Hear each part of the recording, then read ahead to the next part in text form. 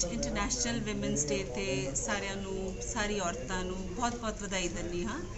ਔਰ ਇਹ ਵੀ ਕਹਿਣਾ ਚਾਹੁੰਦੀ ਹਾਂ ਕਿ ਜ਼ਿੰਦਗੀ 'ਚ ਤੁਹਾਡੇ ਚੁਣੌਤੀਆਂ ਚੈਲੰਜਸ ਬਹੁਤ ਆਉਂਦੇ ਹਨ ਬਟ ਤੁਹਾਡੇ ਕੋਲ ਔਮਨ ਕੋਲ ਇੰਨੀ ਪਾਵਰ ਹੈ, ਇੰਨੀ ਸ਼ਕਤੀ ਹੈ, ਤਾਂ ਹੀ ਉਹਨੂੰ ਨਾਰੀ ਸ਼ਕਤੀ ਕਿਹਾ ਜਾਂਦਾ ਹੈ ਕਿ ਉਹ ਹਰ ਚੈਲੰਜਸ ਨੂੰ, ਹਰ ਚੁਣੌਤੀਆਂ ਨੂੰ ਓਵਰਕਮ ਕਰ ਸਕਦੀ ਹੈ। ਸੋ ਮੈਂ ਇਹ ਕਹਿਣਾ ਚਾਹਤੀ ਹਾਂ, ਹਮੇਸ਼ਾ ਸਟੇ ਫੋਕਸਡ ਆਪਣੇ ਕੰਮ 'ਚ ਧਿਆਨ ਦਿਓ, ਆਪਣਾ ਟੀਚਾ ਮਿੱਥ ਕੇ ਚੱਲੋ ਔਰ ਜ਼ਿੰਦਗੀ 'ਚ ਕੋਈ ਵੀ ਐਸੀ ਚੀਜ਼ ਨਹੀਂ ਹੈ ਜਿਹੜਾ ਮੁਕਾਮ ਐਸਾ ਨਹੀਂ ਹੈ ਜਿਹੜਾ ਤੁਸੀਂ ਨਹੀਂ ਹਾਸਲ ਕਰ ਸਕਦੇ। Happy women's day to all of you Fazilka ਵਾਸੀ ਹੋਲੀ ਬੜੇ ਪਿਆਰ ਮੁਹੱਬਤ ਨਾਲ ਮਨਾਉਣ ਅਹ, ਕੀਚੜ ਗੰਦ ਔਰ ਹੁੜਦੰਗਬਾਜੀ ਅਸੀਂ ਬਿਲਕੁਲ ਨਹੀਂ ਕਵਾਂਗੇ ਕਿ ਤੁਸੀਂ ਕਰੋ। ਔਰ ਜੇ ਕੋਈ ਆਪਣਾ ਕਾਨੂੰਨ ਤੋੜੇਗਾ